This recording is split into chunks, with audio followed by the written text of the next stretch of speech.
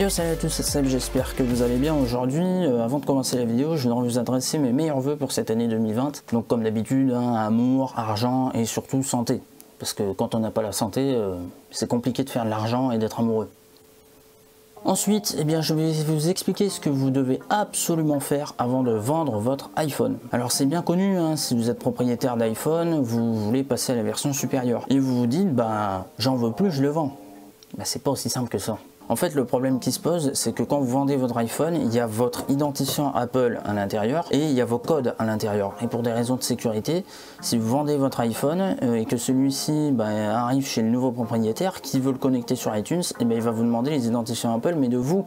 Mais si vous, vous n'avez pas transmis vos identifiants euh, au nouveau propriétaire de votre iPhone, bah, il est coincé. Pour la petite histoire, je suis allé chez un pote euh, hier soir et en gros on y a passé la soirée hein, sur une restauration d'iPhone alors que j'avais tablé sur 30 minutes. On y a littéralement passé la soirée. Tout ça parce que l'ancien proprio n'avait pas donné ses codes Apple et ses codes iCloud et iTunes, etc.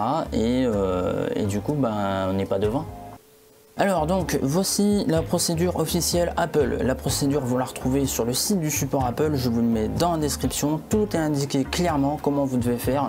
Il y a même euh, des petits liens annexes que vous pouvez aller voir pour euh, bah, il vous explique par exemple comment vous faire une sauvegarde de votre iPhone ou désactiver le jumelage de votre Apple Watch par exemple. Premier truc, justement, on en parle. Si vous avez une Apple Watch qui est jumelée à votre iPhone, eh bien il faut désactiver le jumelage avec votre Apple Watch. Pareil, dans la description, il y a le lien de la page du support d'Apple pour le faire. Je vous mets tout en description pour désactiver le jumelage de l'Apple Watch. Vous devez faire une sauvegarde de votre iPhone. Alors ça paraît con, mais sur votre nouvel iPhone, vous pouvez recopier vos données que vous avez et ça se fait de manière assez simple. Donc euh, à tout prix, faites une sauvegarde. Si vous voulez acheter votre iPhone d'abord et faire le transfert entre les deux, entre vos deux iPhones, c'est d'autant plus simple de faire comme ça et de vendre l'ancien iPhone après. Pareil, pour la sauvegarde de votre iPhone, je vous mets le lien du support Apple dans la description. Il faut vous déconnecter d'iCloud, de l'iTunes Store et de l'App Store. Et eh oui, parce que sans ça, bah, le nouveau proprio il est coincé. Sous iOS 10.3 ou version ultérieure, c'est dans les réglages et vous devrez faire défiler la page de réglage vers le bas et toucher sur déconnexion. Il faut saisir le mot de passe associé à votre identifiant Apple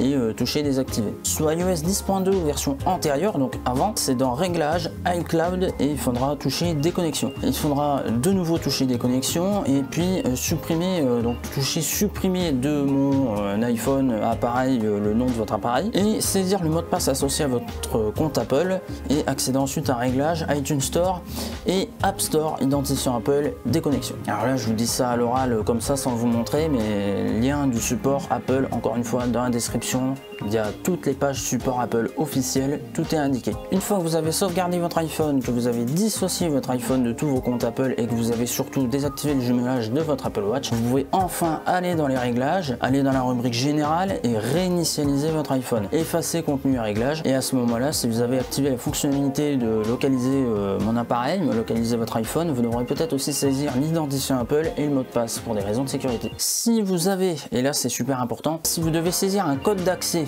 de votre iPhone, donc le code à 6 chiffres, ou le code de restriction à 4 chiffres quel malheur Bah vous devez le faire et ensuite vous pourrez euh, effacer vos données, réinitialiser votre iPhone. Pareil, tous les codes que vous avez, les codes de restriction, tout ça, ne les oubliez pas parce que là vous êtes coincé sinon. Si vous passez à un téléphone d'une autre marque Apple, vous partez chez Android par exemple, ou vous voulez plus de téléphone, vous passez sur un 3310, et bien il faudra aussi désactiver iMessage. Lien du support Apple dans la description pour désactiver iMessage. Ça c'est dans le cas où vous disposez de l'iPhone que vous voulez vendre. Maintenant, vous venez de vendre votre iPhone et qu'il est trop tard, vous n'avez plus l'iPhone que vous venez de vendre, il faudra à ce moment-là contacter le nouveau propriétaire de l'iPhone, si vous le connaissez, et lui demander de faire toute la procédure que je viens de vous décrire juste au-dessus et qui est aussi dans la description en dessous de cette vidéo sur la page du support Apple. Si vous utilisez iCloud et la fonctionnalité localisée de votre iPhone, et eh bien vous pouvez vous connecter à votre espace iCloud ou à l'application iCloud ou à l'application localiser mon iPhone sur un autre appareil, sélectionnez l'iPhone en question et vous choisissez effacer. Ça va tout simplement supprimer l'iPhone de votre compte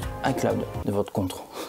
je dis n'importe quoi. Une fois les données effacées, cliquez sur supprimer du compte et là votre iPhone il disparaît. Si c'est pas possible d'effectuer euh, ces étapes-là, et eh ben vous changez le mot de passe associé à votre identifiant Apple. Donc ça n'entraîne pas la suppression des informations personnelles stockées sur votre ancien appareil, mais ça permet d'empêcher la suppression de ces informations d'iCloud par le nouveau propriétaire. Là, vous coincez le nouveau propriétaire, hein, littéralement. Donc ne faites pas ça. Euh, faites ça à l'amiable, hein, parce que si vous voulez l'emmerder, euh, si vous passez un téléphone d'une autre marque euh, qu'Apple, pareil, il faudra désactiver iMessage, lien du support Apple en description. Si vous utilisez Apple Pay, là aussi c'est très important, vous pouvez supprimer vos cartes de crédit ou de débit sur le site iCloud.com, sur l'espace iCloud. Pour ce faire, il faudra euh, choisir Réglages afin d'accéder à la liste des appareils sur lesquels le service euh, Apple Pay est activé et il faudra choisir l'appareil souhaité, donc l'iPhone que vous avez vendu et à côté d'Apple Pay, choisissez Supprimer. Et voilà, ça c'est le Dixit Apple officiel, donc encore une fois, je vous invite à regarder les descriptions, il y a tous les liens. Au total, il y en a 5 normalement, si tout va bien. Si j'ai retrouvé les 5 liens, et tout est indiqué. Voilà, c'est textuellement indiqué ce qu'il faut faire. Donc maintenant, vous n'avez plus aucune raison de vendre votre iPhone sans rien faire et coincer le nouveau propriétaire de l'iPhone qui est obligé d'appeler quelqu'un, un ami, hein, qui est hyper gentil, hein, un ami super gentil qui vient passer la soirée à la maison en mangeant des cacahuètes et de la tartiflette et qui se pète les dents sur un pauvre iPhone parce que l'ancien propriétaire n'a pas fait les bonnes manipulations.